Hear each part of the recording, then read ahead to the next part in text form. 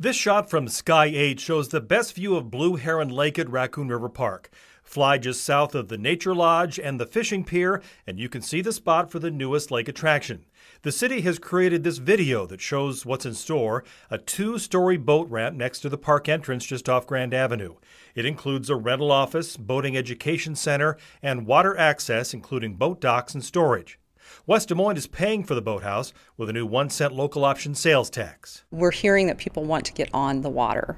Um, so we're going to help them do that by um, offering boat rentals, and we're talking non motorized boats, canoes, kayaks, paddle boats, that sort of thing, and just help them explore Blue Heron Lake. The West Des Moines Boathouse is just one of 80 lake and river projects planned for central Iowa waterways. The Water Trails project truly is a transformational project for this region. Tiffany Tauschek says the Greater Des Moines Partnership is making water trail projects a top priority in 2019.